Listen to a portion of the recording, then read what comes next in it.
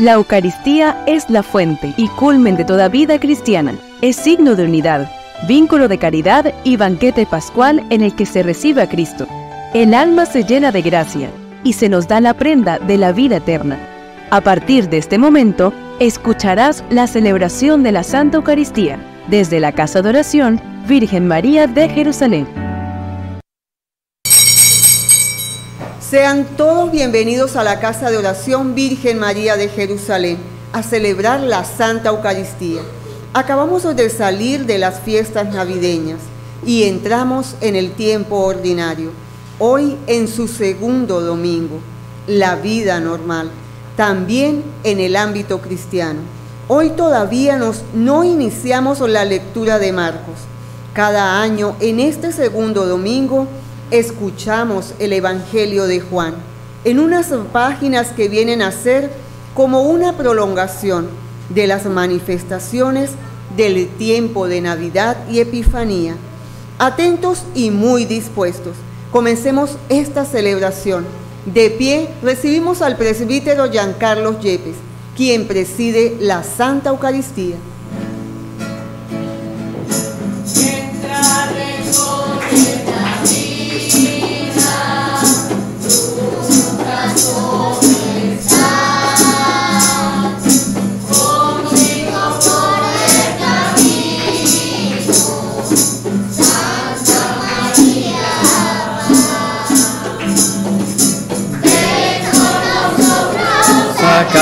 Caminar. Santa María, ven, ven con nosotros a caminar. Santa María, ven.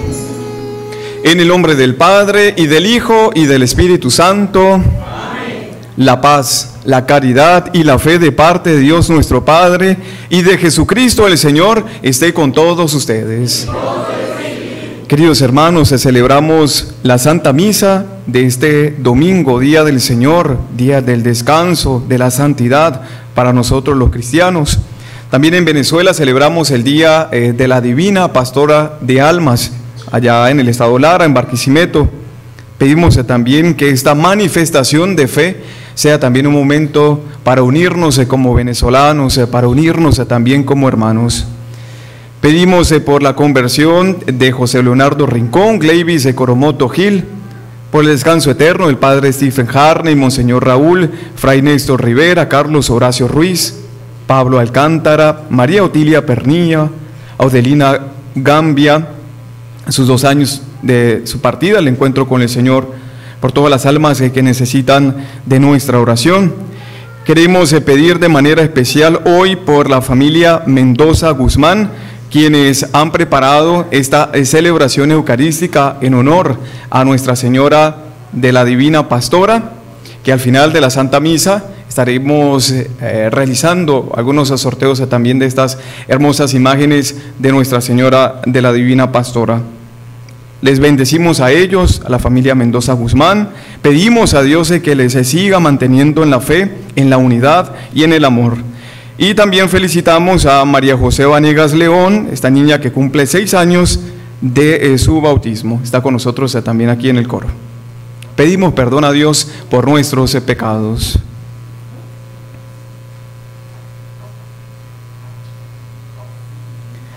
Y decimos todos, yo confieso ante Dios Todopoderoso y ante ustedes, hermanos, que he pecado mucho de pensamiento, palabra, obra y omisión, por mi culpa, por mi culpa, por mi gran culpa.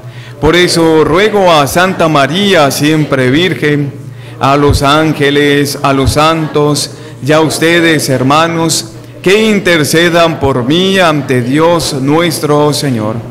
Dios Todopoderoso, tenga misericordia de nosotros, perdone nuestros pecados y nos lleve a la vida eterna.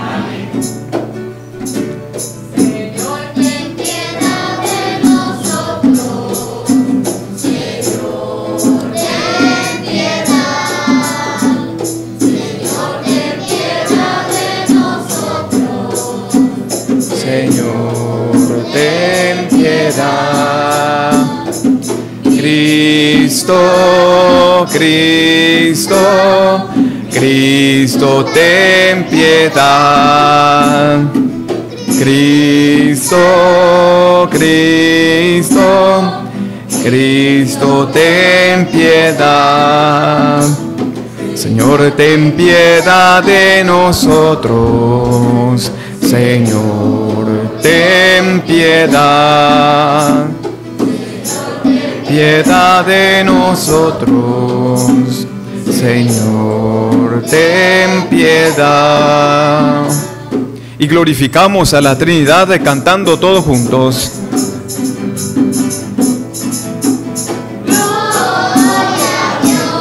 En el cielo, en la tierra paz a los hombres, paz de buena voluntad.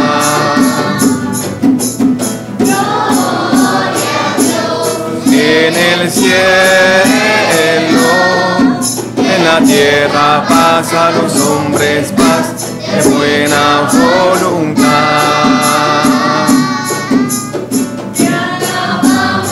Te bendecimos, te adoramos, glorificamos, te damos gracias por tu inmensa gloria. Señor Dios, Rey Celestial, Dios Padre Todopoderoso. Dios Padre Todopoderoso.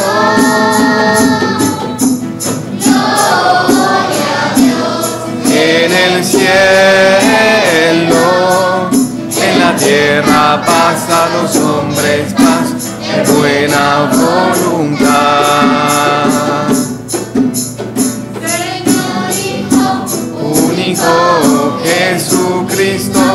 Señor Dios, Cordero de Dios, Hijo del Padre, tú que quitas el pecado, ten piedad de nosotros, tú que quitas el pecado de nosotros. En el cielo,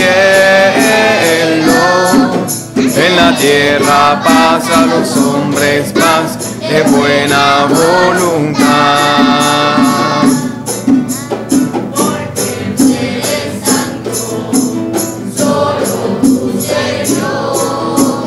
Solo tú, Altísimo Jesucristo, con el Espíritu, Espíritu Santo, de Dios Padre,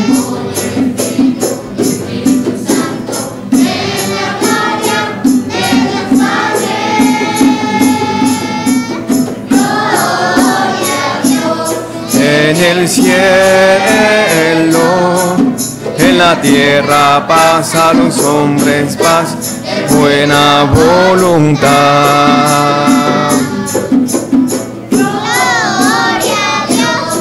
En el cielo,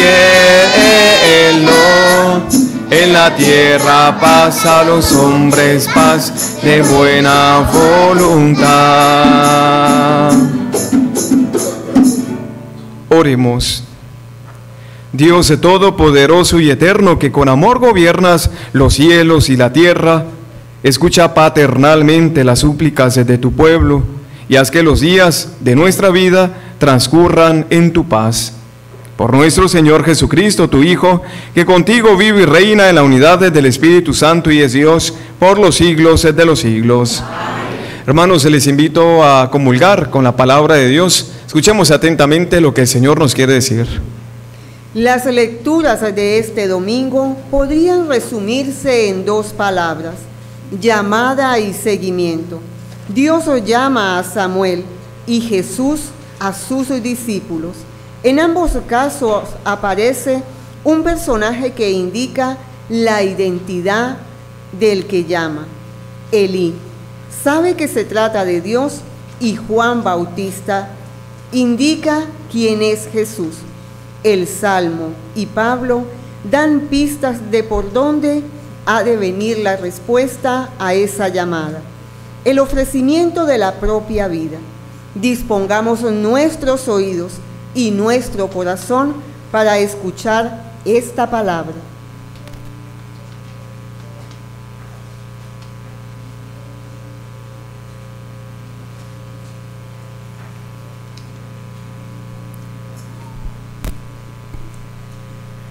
Lectura del primer libro de Samuel. En aquellos días, el joven Samuel servía en el templo a las órdenes del sacerdote Elí. Una noche, estando Elí acostado en su habitación y Samuel en la suya, dentro del santuario donde se encontraba el arca de Dios, el Señor llamó a Samuel y éste le respondió, aquí estoy. Fue corriendo donde estaba Elí y le dijo, aquí estoy. ¿Para qué me llamaste? Respondió Elí, yo no te he llamado, vuelve a acostarte. Samuel se fue a acostar. Volvió el Señor a llamarlo y él se levantó. Fue a donde estaba Elí y le dijo, aquí estoy, ¿para qué me llamaste? Respondió Elí, no te he llamado, hijo mío, vuelve a acostarte. Aún no conocía Samuel al Señor, pues la palabra del Señor no le había sido revelada. Por tercera vez llamó el Señor a Samuel. Este se levantó, fue a donde estaba Elí y le dijo, aquí estoy, ¿para qué me llamaste? Entonces comprendió Elí que era el Señor quien lo llamaba al joven y dijo a Samuel, ve a acostarte y si te llama alguien responde, habla Señor, tu siervo te escucha. Y Samuel se fue a acostar. De nuevo el Señor se presentó y lo llamó como antes. Samuel, Samuel. Este respondió, habla Señor, tu siervo te escucha. Samuel creció y el Señor estaba con él, y todo lo que el Señor le decía se cumplía. Palabra de Dios. Te alabamos, Señor.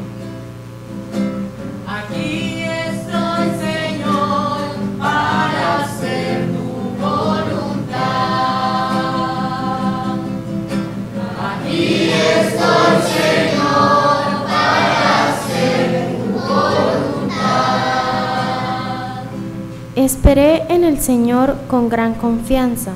Él se inclinó hacia mí y escuchó mis plegarias. Él me puso en la boca un canto nuevo, un himno a nuestro Dios. Aquí estoy, Señor, para hacer tu voluntad. Sacrificios y ofrendas no quisiste, abriste en cambio mis oídos a tu voz. No exigiste holocaustos por la, por la culpa, así que dije, aquí estoy. Aquí estoy, Señor, para hacer tu voluntad. En tus libros se me ordena hacer tu voluntad. Esto es, Señor, lo que deseo, tu ley en medio de mi corazón. Aquí estoy, Señor, para hacer tu voluntad. He anunciado tu justicia el gran, en la gran asamblea. No he cerrado mis labios, tú lo sabes, Señor. Aquí estoy, Señor, para hacer tu voluntad.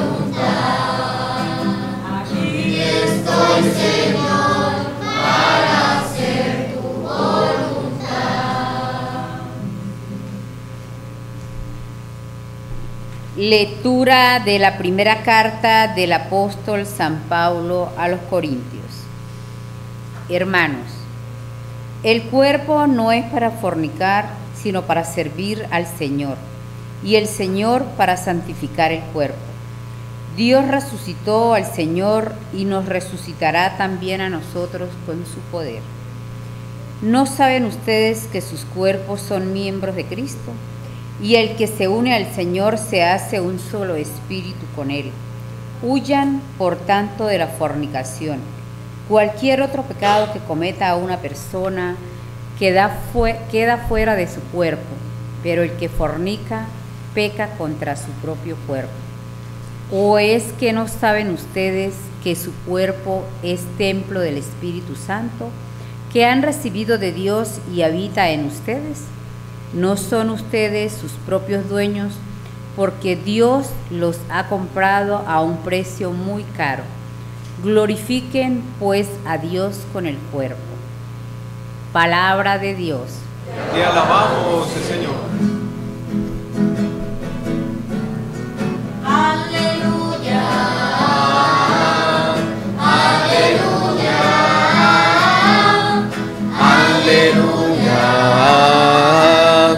Aleluya. Aleluya. Aleluya.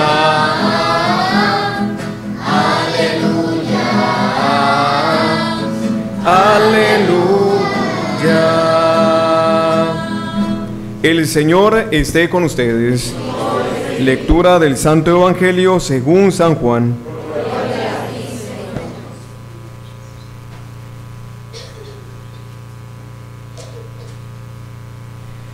En aquel tiempo estaba Juan el Bautista con dos de sus discípulos y fijando los ojos en Jesús que pasaba, dijo, Este es el Cordero de Dios. Los discípulos al oír estas palabras siguieron a Jesús. Él se volvió hacia ellos y viendo que lo seguían, les preguntó, ¿qué buscan? Ellos le contestaron, ¿dónde vives, maestro? ¿Dónde vives, rabí? Rabí significa maestro. Y les dijo, vengan a ver.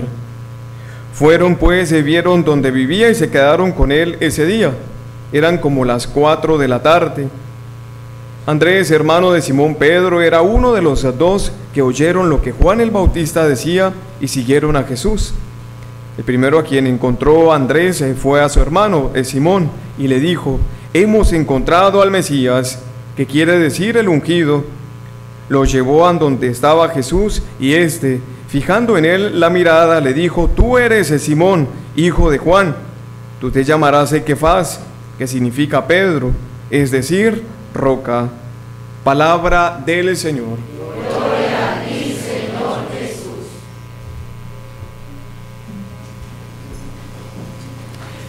Queridos hermanos, meditamos en la palabra de Dios que es viva y eficaz. Y es más eficaz cuando prestamos atención a la palabra de Dios, cuando comulgamos con ella con muchísima atención y disposición del corazón. Mucha gente piensa que los sacerdotes se pueden distraer o molestar, lo digo de forma personal, cuando estamos en el altar o en el ambón, cuando los niños lloran. Y entonces entran como en crisis porque los que están a su alrededor empiezan a mirarlo mal y como que no, como que personalmente yo me distraigo más cuando la gente está distraída. Pasa un perro y pasa, entra una persona y pasa una mosca y, entonces se fija, ay, miren, miren lo que le da. Hay que cortarle, yo creo que hay que cortarle esas cosas ahí que están. Y entonces se van. Hay que comulgar, primero hay que comulgar con la palabra de Dios. Muchos se afanan y es importante, claro que sí, no le quito la importancia de comulgar sacramentalmente. Pero lo que primero que tenemos que hacer es comulgar con la palabra. Entonces, ¿cómo va a dar fruto esta palabra? Yo sé que ustedes no, ustedes están comulgando diariamente con ella.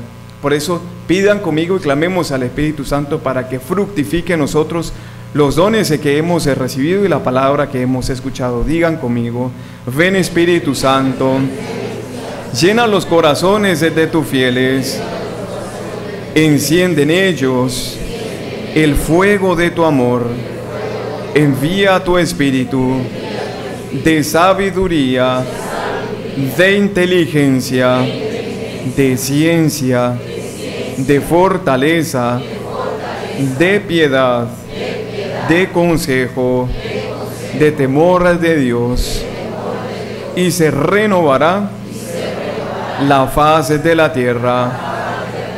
Amén. Bueno, el Evangelio que escuchamos en el día de hoy es de San Juan, capítulo 1, versículos 35 al 42. Yo tengo la, no sé si le sucedió a todo el mundo, tengo la hojita de domingo torcida. ¿Sí la tienen así? Yo estaba, creo que fue un error de imprenta, ¿no? No, no de los responsables, sino de la imprenta, más nada, ¿no? Entonces, eh, escuchamos en el Evangelio de San Juan capítulo 1, vers- versículos del 35 al 42, eh, que Juan el Bautista señala quién es el Cordero de Dios, el que quita el pecado del mundo. Y vemos eh, también la importancia que para que otras personas conozcan de Dios, tenemos que ayudarles. O sea, le tenemos que decirle, oye, este es Dios. Y por eso en nuestros inicios, nuestros papás, nuestros abuelos, nuestros hermanos mayores, pues como que nos van indicando, ¿no? ¿Cuál es el camino de la fe? Y luego dentro de la catequesis nosotros encontramos que tenemos que memorizar, y es muy importante memorizar los mandamientos, las obras de misericordia y las oraciones principales para nuestro camino eh, de formación. Pero siempre necesitamos una persona como que nos indique, oye, ese es el Cordero de Dios, el que quita el pecado del mundo, el que nos da la salvación, el que nos da la sanación. Y le pasó hoy, escuchamos en el libro eh, de Samuel, que Samuel no sabía distinguir la palabra del Señor. En otras traducciones dice que no era muy común que Dios hablara a la gente para ese tiempo, no era común. Por eso Samuel no sabe distinguir entre la voz de Dios y la voz de Elí, que era el sacerdote quien estaba encargado de Samuel. Que les invito a leer esta hermosa historia que está en 1 Samuel, que es bellísima también. Samuel no sabía distinguir quién era el que lo estaba llamando. Entonces Elí es en la tercera vez que cae en la cuenta y dice, oye, es Dios quien está llamando a Samuel. Y Elí le dice cómo debe responder. ¿Se han fijado que siempre necesitamos en nuestra vida alguien que nos indique el camino de Dios? Y nosotros lo hemos encontrado. Yo lo encontré en mi camino también hacia el sacerdocio, que no sabía distinguir si Dios me estaba llamando a esto o no. Y a medida que va avanzando el tiempo, pues uno va encontrando con mayor fuerza esa respuesta. Pero siempre vamos a necesitar una persona que nos indique, un sacerdote, un religioso, una religiosa, uno de nuestros familiares, que nos muestre al Dios verdadero, no al Dios ese de los brujos. Récele de rodilla ensangrentada y ponga de cabeza para abajo a San Antonio para que le llegue un marido porque ya se le va a ir el tren. Eso está más unido a la superstición que a la misma cosa de Dios ponga una sábila y haga que el Padre se la bendiga con cuatro cruces y le echa sal exorcizada para que... Está afuera, o sea, ¿quién nos va a indicar al verdadero Dios? Pues, señores, aquellos quienes cumplen la voluntad de Dios. Los que dicen, aquí estoy, Señor, para hacer tu voluntad. Y esas personas necesitan tomar micrófonos, aprovechar los medios de comunicación, en sus casas también denunciar y decir, oye, lo que estás haciendo no es correcto. Y hoy el apóstol Pablo nos ilumina, nos dice la palabra, que el cuerpo no es para fornicar, o sea, para tener, y perdón para quienes nos escuchan por la radio, tener chacachaca por ahí libremente. Y entonces, porque este es mi cuerpo, y entonces yo tengo que experimentar y que y sucede muchas veces que se acercan a la comunión, pero porque no está formada su conciencia y han pasado toda su vida fornicando, toda su vida de forma libre, porque hay que experimentar, porque no me puedo aguantar, porque ese deseo que... Eso no es una necesidad fisiológica. Necesidad fisiológica es ir al baño, tomar agua, comer, socializar. Eso es una necesidad fisiológica. Dice el apóstol Pablo, el cuerpo no es para fornicar. Y era porque algo estaba sucediendo allí en esa comunidad de Corinto y dijo, vamos a denunciarlo. Y yo les he propuesto, les he propuesto también a aquellas personas quienes viven en una situación que, oye, que, que vivan como hermanos, ¿no? Y se asustan, y se corren, y se van. Así como he encontrado personas que dicen, vamos a asumir nuestra vida como cristianos y vamos a lucharle. Dios nos va a bendecir. Pero no podemos estar adorando al cuerpo y a sus casas y después a Dios. No, eso no comulga. Como una persona que le canta al mundo y licor para arriba, para, arriba, para abajo, propicia eventos de estos y después vienes a eso. No, no hay comunión. Estás desligado de eso. Se puede luchar. Conozco jóvenes aquí en el Táchira que han apostado por eso, que han apostado por una vida de castidad, una vida de santidad, una vida de espera, porque saben que eso es hacia el matrimonio. Pero entonces, como dice Pablo también en el libro, en la carta a los romanos, ¿cómo van a creer entonces y cómo van a entender si no hay nadie que les predique? Si los sacerdotes suavizan la cosa como para que no se me pongan bravos y no se me vayan y el próximo domingo solamente me venga cinco personas porque le... O en la casa suavizan la cosa para que el muchacho no se nos enoje. No, tenemos que denunciar, tenemos que decir que nuestro cuerpo es templo del Espíritu Santo. Y con este mismo cuerpo, dice Pablo, vamos a resucitar. Entonces, señores, al entender eso, y hablo de la fornicación porque Pablo nos ilumina, pero al igual como los robos, los negocios sucios, el estar hablando mal de los demás y malponiéndolo, quitándole su fama, y después te acercan la comunión, eso rompe la comunión. Al entender la palabra de Dios, al entender sus mandamientos y lo que quiere el Señor, podemos decir a viva voz, aquí estoy Señor para hacer tu voluntad. Cuando entienda y asuma todo esto, voy a decir con mayor certeza y seguridad, aquí estoy Señor para hacer tu voluntad, porque conozco tus mandamientos, conozco tus designios y lo que quieres para mí. No es un yugo fuerte, sino suave y ligero para poder vivir eternamente contigo. Amén. Con esta certeza y seguridad de que Dios nos indica cuál es su voluntad, nos colocamos desde pie para profesar nuestra fe diciendo, creo en Dios Padre Todopoderoso, Creador del cielo y de la tierra. Creo en Jesucristo, su único Hijo, nuestro Señor, que fue concebido por obra y gracia del Espíritu Santo. Nació de Santa María Virgen padeció bajo el poder de Poncio Pilato, fue crucificado, muerto y sepultado, descendió a los infiernos, al tercer día resucitó entre los muertos, subió a los cielos y está sentado a la derecha de Dios Padre Todopoderoso.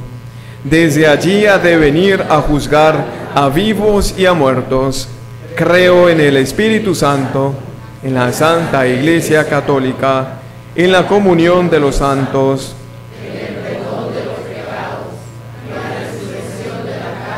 y en la vida eterna. Amén. Hermanos, Cristo sale a nuestro encuentro y nos invita a seguirlo con libertad. Oremos al Padre para que su invitación sea acogida en el mundo entero. Decimos todos, escúchanos, Señor.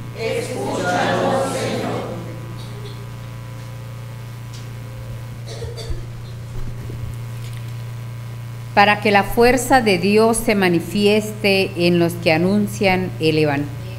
Roguemos al Señor. Escúchanos, Señor.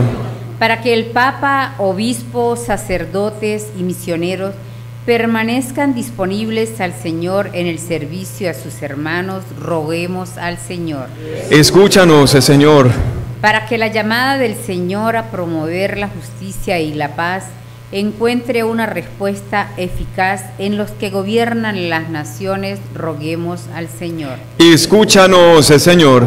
Para que cuantos viven esclavizados por sus pasiones descubran la presencia de Dios en su vida y se dejen guiar por su espíritu, roguemos al Señor. Escúchanos, Señor. Para que el Señor visite con su paz y amor a los que están en guerra a los agonizantes y a los que llaman a su seguimiento, roguemos al Señor. Escúchanos, Señor. Para que estando con Jesús nos dejemos alimentar, instruir y enviar por la fuerza de su amor, roguemos al Señor. Escúchanos, Señor. Escucha, Padre, de bondad de todas las intenciones que están en lo profundo de nuestro corazón. Acógelas en tu infinita misericordia. Por Jesucristo nuestro Señor. Con el pan y el vino que presentamos ante el altar del Señor, presentamos nuestras vidas y nuestras ofrendas.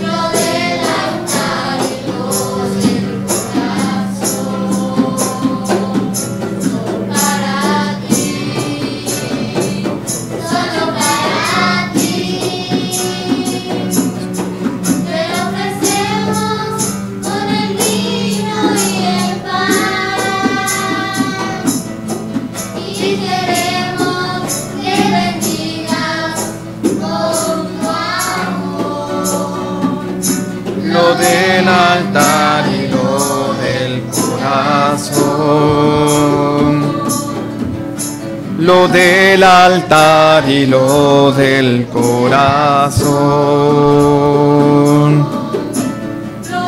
Altar y lo del corazón. Oren hermanos eh, para que este sacrificio mío y de ustedes sea agradable a Dios Padre Todopoderoso.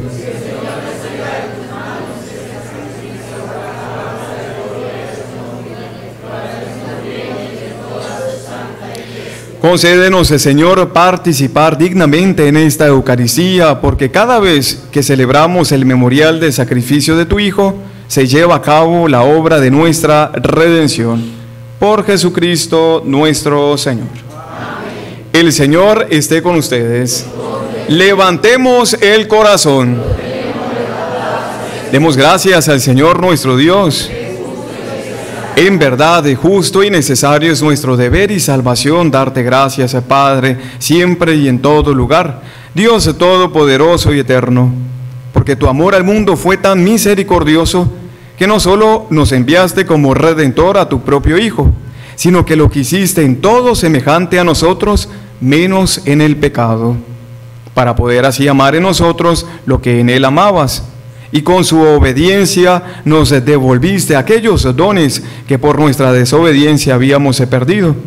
Por eso ahora nosotros, unidos y llenos de alegría, te aclamamos con los ángeles y los santos.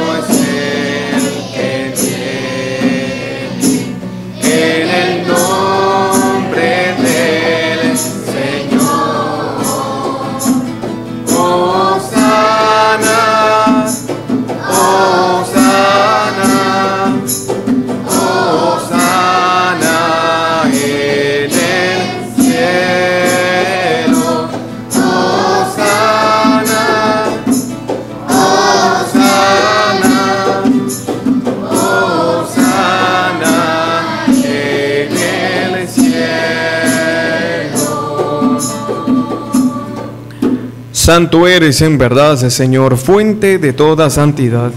Por eso te pedimos eh, que santifiques estos dones con la efusión de tu Espíritu, de manera que sean para nosotros cuerpo y sangre de Jesucristo nuestro Señor, el cual, cuando iba a ser entregado a su pasión voluntariamente aceptada, tomó pan, dándote gracias, lo partió y lo dio a sus discípulos, diciendo, tomen y coman todos de él, porque esto es mi cuerpo que será entregado por ustedes.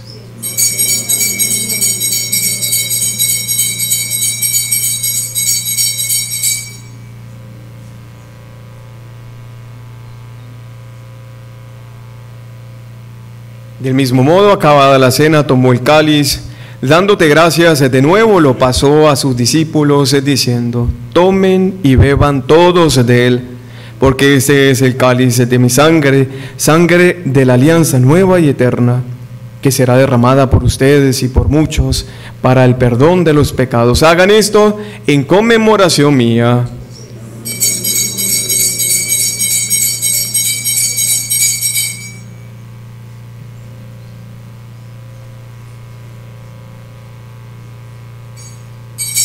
Hermanos, este es el sacramento de nuestra fe.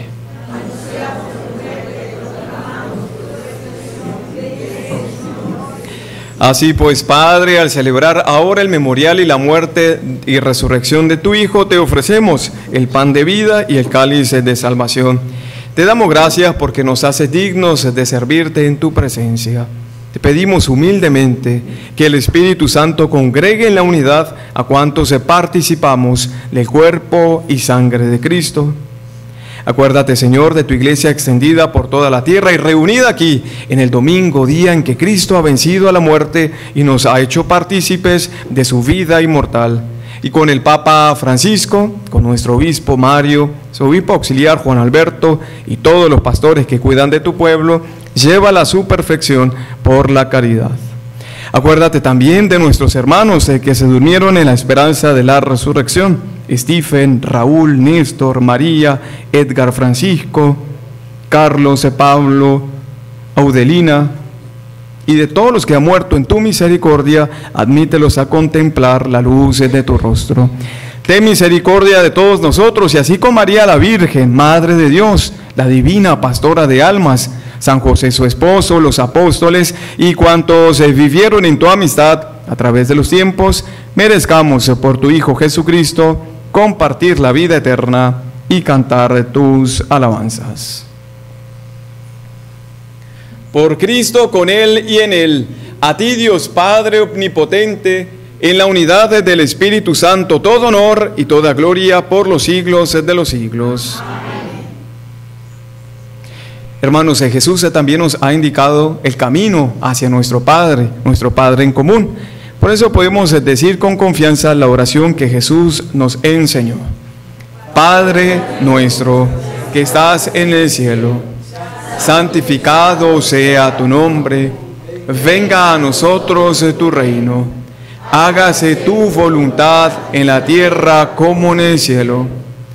Danos hoy nuestro pan de cada día Perdona nuestras ofensas, como también nosotros perdonamos a los que nos ofenden. No nos dejes caer en la tentación y líbranos del mal. Líbranos de todos los males, Señor. Concédenos la paz en nuestros días, para que, ayudados por tu misericordia, vivamos siempre libres de pecado y protegidos de toda perturbación. Mientras Esperamos la gloriosa venida de nuestro Salvador Jesucristo todos.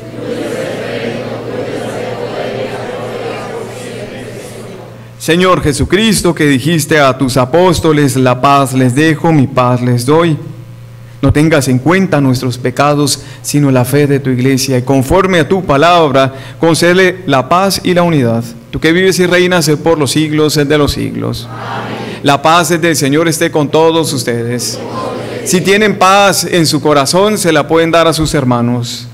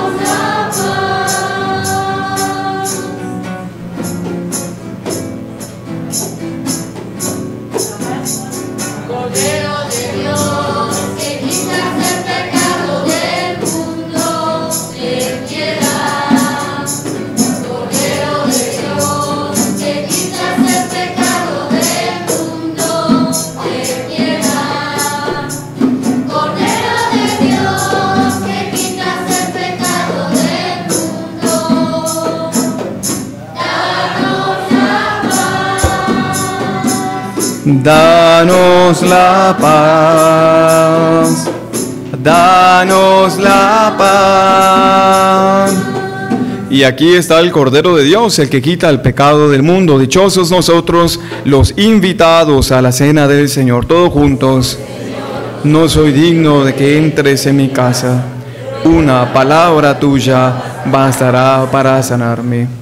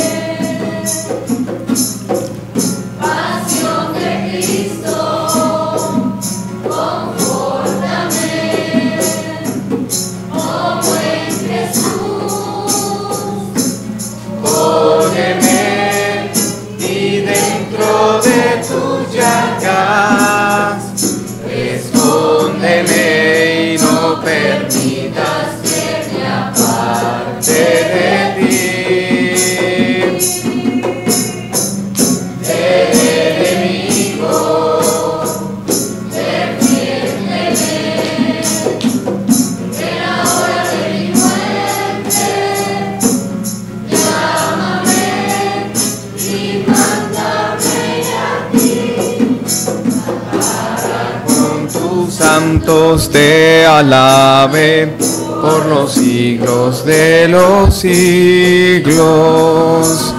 Amén. Y le damos gracias al Señor por permitirnos compartir el pan de su palabra y el pan de la Eucaristía, por llamarnos a la fe, por llamarnos siempre a la santidad, por los alimentos que llegan a nuestra casa, por el calor de hogar que recibimos. Por esto y por muchas cosas más decimos, gracias Señor, gracias. Oremos. Infúndenos, Señor, el espíritu de tu caridad para que alimentados del mismo pan del cielo, permanezcamos siempre unidos por el mismo amor. Por Jesucristo nuestro Señor. Responso final por nuestros hermanos de difuntos. Se concédele, Señor, su eterno descanso. Descansen en paz. Concédele, Señor, su eterno descanso. Descansen en paz. Concédele, Señor, su eterno descanso. Descansen en paz.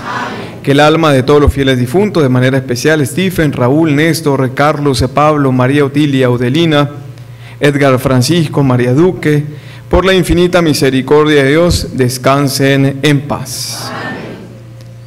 Antes de, dar unos avisos, eh, quiero llamar eh, la atención eh, y, y me he preguntado a lo largo de estos días, ¿qué nos está pasando? ¿Qué le está pasando a la humanidad? Estamos viendo guerras en todas partes, entre Rusia y Ucrania, entre Palestina e Israel, ahora con estos ataques de terroristas en Ecuador, la incertidumbre que se puede vivir en Venezuela y en otros países de América Latina. ¿Qué nos está pasando? Necesitamos pedir paz, pero no solamente pedir paz, sino también ser actores de paz. Y empieza por nuestras familias. Cuando en nuestras casas siempre está esa guerrilla constante, desde la mañana hasta la noche, ese corazón que se va de la casa empieza a generar guerra también en otros lugar- lugares y hogares cuando se conforman otras familias. Necesitamos ser actores de paz. El Papa Francisco nos está haciendo este llamamiento y no podemos quedarnos en silencio. Necesitamos pedir paz y ser actores de paz. Que el Señor nos conceda siempre un corazón de tranquilidad, un corazón pacífico que nos ayude a no ser reactivos, sino ser actores de paz y justicia. Amén.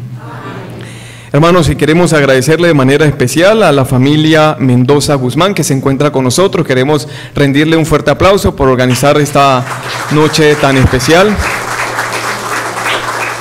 En honor a, la divina pastora, ellos son también unos devotos eh, que año tras año van hacia esa visita en Barquisimeto. Hoy han querido ah, realizar este homenaje especial a la divina pastora acá en el Táchira y por eso va a tener lugar al final de la Eucaristía, aquí afuera, por favor no se vayan, porque tenemos la oración a la divina pastora y detrás de esta oración hay un número en el que con él pues, podrán participar en la rifa de algunas de estas dos imágenes de nuestra Virgencita bajo la advocación de la Divina Pastora. Oramos todos juntos a la Divina Pastora de almas diciendo todos, oh medianera nuestra María, bajo la advocación de Divina Pastora, Madre de Dios y Madre de la Iglesia, intercede por nosotros ante Jesucristo, tu Hijo, para que me conceda la gracia que en este momento pido con fe y humildad de corazón.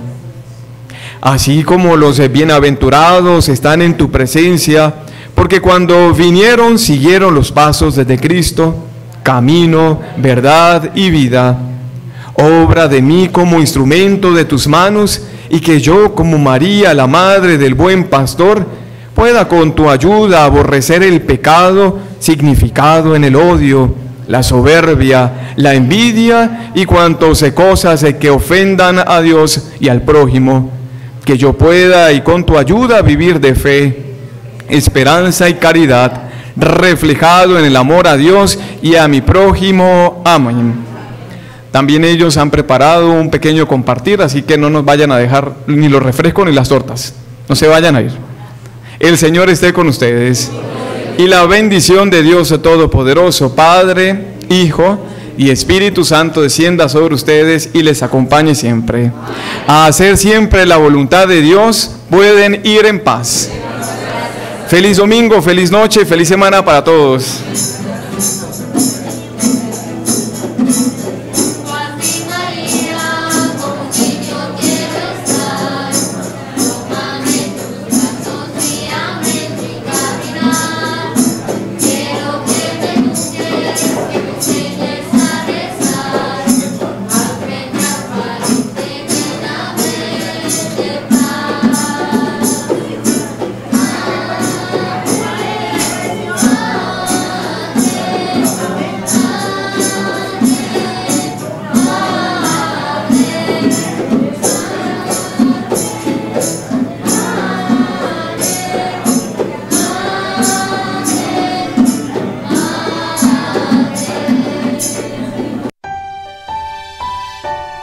Gracias Señor, porque quisiste celebrar tu entrega en torno a una mesa con tus amigos, para que fuesen una comunidad de amor. Radio Natividad transmitió la celebración de la Santa Eucaristía desde la Casa de Oración Virgen María de Jerusalén.